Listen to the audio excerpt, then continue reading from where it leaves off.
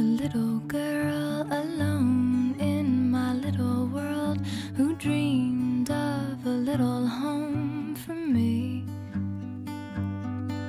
I played pretend between the trees and fed my house gas barking leaves and laughed in my pretty bed of green.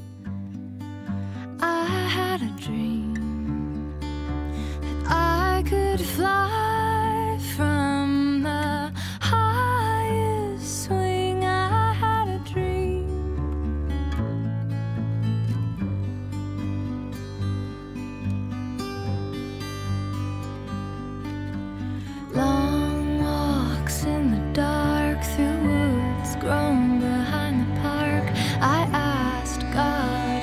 supposed to be.